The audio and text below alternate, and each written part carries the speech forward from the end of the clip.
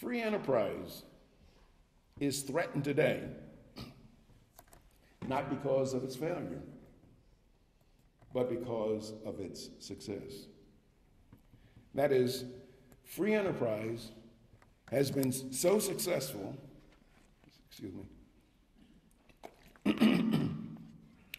has been so successful in eliminating the traditional problems of mankind, such as disease, pestilence, hunger, and gross poverty, that all other human problems appear to us to be at once inexcusable and unbearable.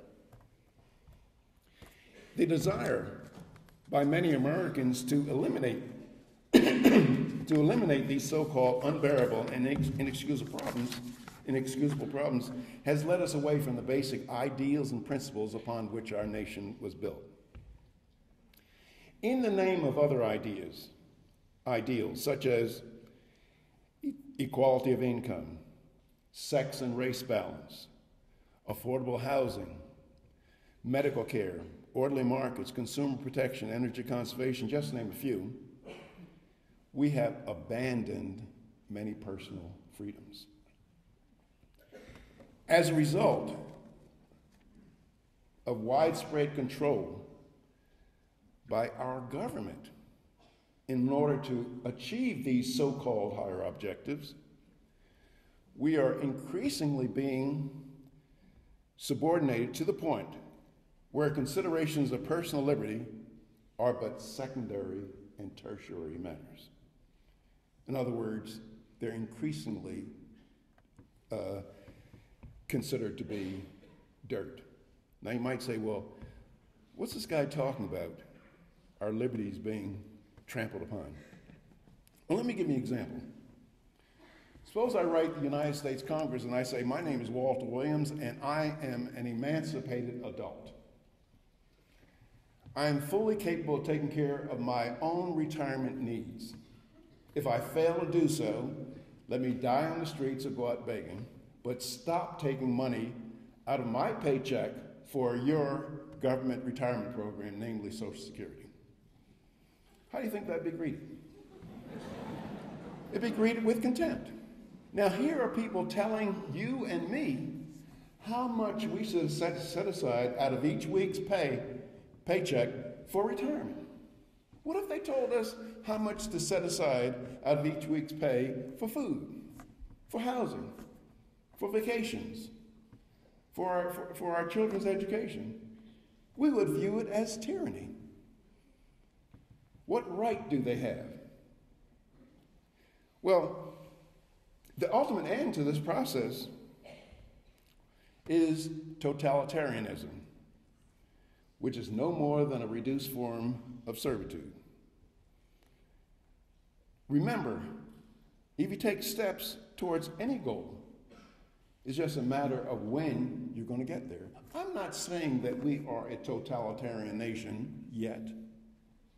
But if you ask the question, which way are we headed, tiny steps at a time, are we headed towards more personal liberty or towards more government control over our lives? It would have to unambiguously be the latter.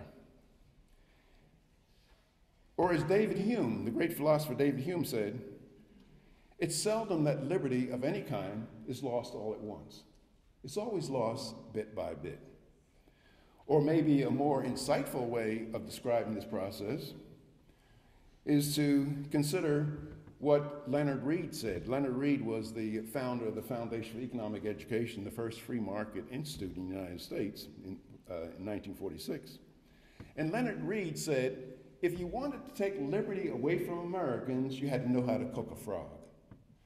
Leonard Read said, you can't cook a frog by putting on a pot of boiling water and then throwing the frog in the water.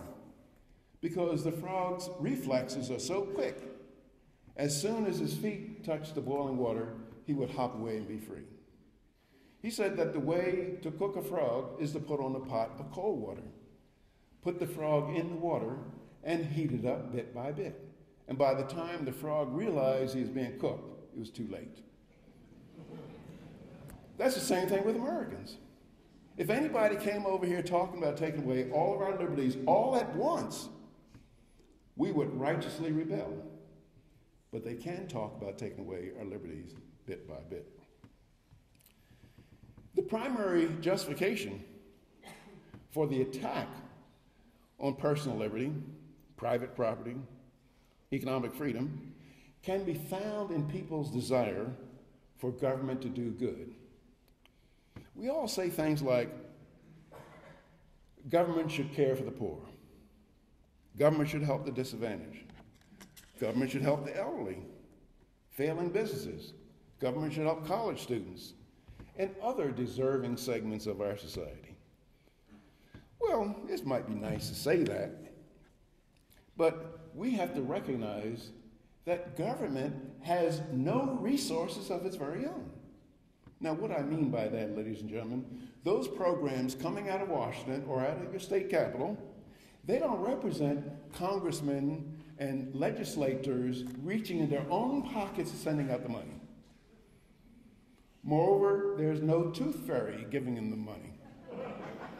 There's no Santa Claus giving them the money. Now, once you recognize that government has no resources of its very own, that forces you to recognize that the only way the government can give one American citizen $1 is to first, through intimidation, threats, and coercion, confiscate that dollar from some other American. Now, if you believe I'm being too loose with the terminology intimidation, threats, and coercion and confiscation, you have until April 15th next year to check me out. Now, we Americans, we ask government to do things that if a private person did the identical thing, we would roundly condemn him as ordinary despicable thief. For example, I might see an elderly lady sleeping out on a grate in the dead of winter. She's hungry, she needs some medical attention, and she needs some shelter. Now, I could walk up to Dr. Benjamin Powell with a gun in my hand and say, Ben, give me your $200. Then, having gotten this $200, I can go down and help the lady out. Buy her some medical attention, some food, and shelter. Would you find me guilty of a crime? I'd be guilty of a crime regardless of what I did with the money. I'd be guilty of theft. Because what is theft? Theft is taking the rightful property of one person and giving it to another to whom it does not belong. Now, most Americans can agree with me on that. They'll say, yeah, Williams, that's theft.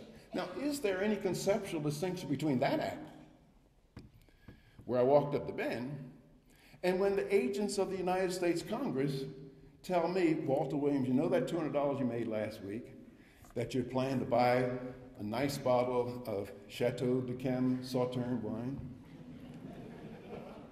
You will not do that with the money. You'll give it to us, and we will go downtown and help the lady out.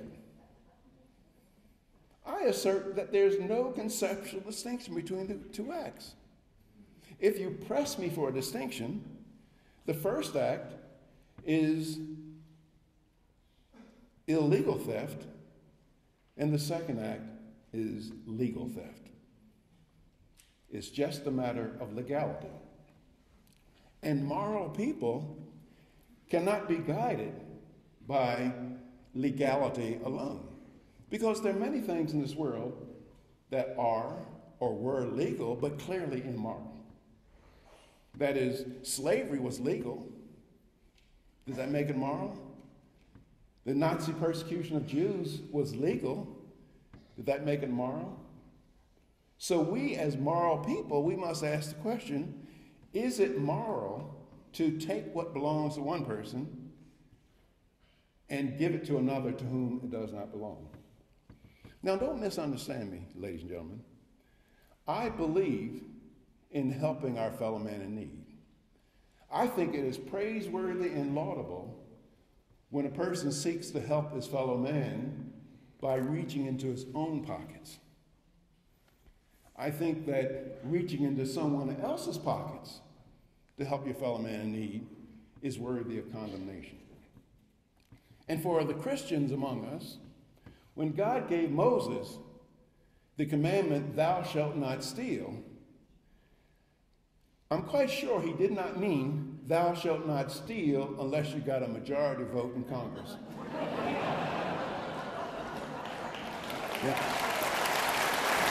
yeah.